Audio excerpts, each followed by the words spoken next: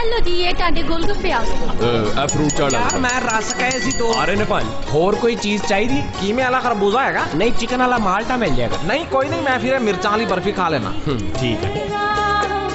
ਅੰਮੀ ਸਾਡੀ ਵਾਮ ਉਦਾਂ ਤੇ ਬੜੀ ਖਾ ਪਾਉਂਦੀ ਏ ਸੀ ਇੱਥੇ ਮਰ ਗਏ ਲੁੱਟੇ ਗਏ ਤੇ 14 ਅਗਸਤ ਦਿਨ ਖੁਸ਼ੀਆਂ ਕਿਦਾਂ ਮਨਾ ਰਹੇ? ਪੁੱਤਰ ਗਿਲੇ ਸ਼ਿਕਵੇ ਤੇ ਹੁੰਦੇ ਹੀ ਫੇਰ ਵੀ ਸਾਡਾ ਮੁਲਕ ਆ।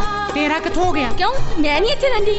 ਸ਼ਕਲ ਵੇਖੀ ਤੂੰ ਆਪਣੀ? ਵੇਖੀ ਤੂੰ ਆਪਣੀ ਵੇਖ ਜਿਸ ਨਾਲ ਕੱਟੇ ਦੀ ਸਿਹਤ ਬਣੀ ਹੁੰਦੀ ਆ। ਓਏ ਹੋਏ। ਸੱਚੀ ਬਾਤੀ ਨਾ ਕਰੋ। ਅੰਮੀ ਤੂੰ ਵੀ ਦੱਸ ਜ਼ਰਾ ਤੇ ਇਹਨੂੰ ਤੂੰ ਪਤਾ ਕਿੱਦਾਂ ਦੀ ਆ? ਆਹੋ ਆਹੋ ਮੈਂ ਤੇ ਬਿਲਕੁਲ ਰੀਮਾ ਵਰਗੀ ਲੱਗਦੀ ਐ ਇੰਨਾ ਤੇ ਮੈਨੂੰ ਪਤਾ। ਰੀਮਾ 30 ਸਾਲ ਨਾਵੇ ਨਾ ਨਾ ਤਾਂ ਵੀ ਤੇਰੇ ਨਾਲੋਂ ਸੋਹਣੀ ਲੱਗੇ। ਸਹੀ ਗੱਲ ਆ। ਪਾਕਿਸਤਾਨੀ ਝੰਡੇ ਦੇ ਉੱਪਰ ਜਿਹੜਾ ਦਰਮਿਆਨ 'ਚ ਚੰਦ ਬਣਿਆ ਹੁੰਦਾ ਨਾ ਉਹਦੀ ਨੁੱਕਰ ਵਰਗਾ ਮੂੰਹ ਹੀ ਤੇਰਾ।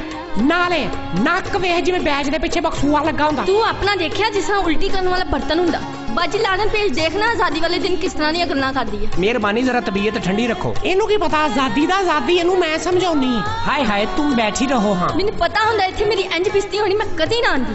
ਹਾਂ। ਕੀ ਹੋਇਆ? ਅੰਮੀ ਜੇ ਤੂੰ ਕਵੇਂ ਤਾਂ ਮੈਂ ਮਹੱਲੇ 'ਚ ਮੁੰਡੇ ਬੁਲਾ ਲਵਾਂ ਇਹਨੂੰ ਕੁੱਟ ਪਵਾਉਣੇ ਨਹੀਂ ਬਹੁਤ ਹੋ ਗਈ ਇਹਦੇ ਨਾਲ। ਲੜਾਈ ਝਗੜੇ ਬੰਦ ਕਰੋ ਤੇ ਮੇਰੇ ਵੱਲ ਗੌਰ ਕਰੋ। ਨਹੀਂ ਇਹ ਖੁਸਰਾ ਤੇ ਸਭ ਨੂੰ ਆਜ਼ਾਦੀ ਮੁਬਾਰਕ। ਆਪ ਮੁਬਾਰਕ। ਵੇ ਮਾਈਕ ਉਰੇ ਫੜਾ ਮੈਂ ਮੁਲਕ ਵਾਸਤੇ ਦੋ ਬੋਲ ਕਵਾਂ।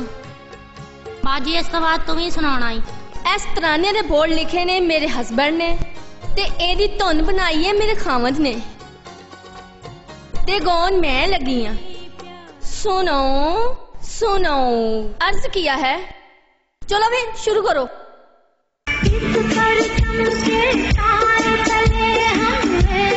चमन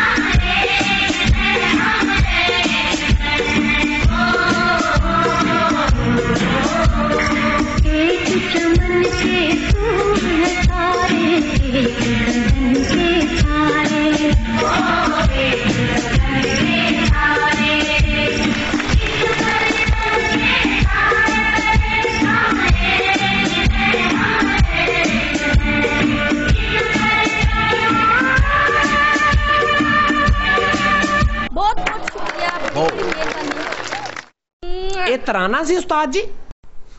ਮੈਨੂੰ ਕੀ ਪਤਾ? ਜੇ 14 ਅਗਸਤ ਇਹਨੂੰ ਕਹਿੰਦੇ ਤੇ ਫਿਰ ਅਗਲੇ ਸਾਲ ਮੇਰੇ ਘਰ ਪ੍ਰੋਗਰਾਮ ਰੱਖਣਾ ਜੇ।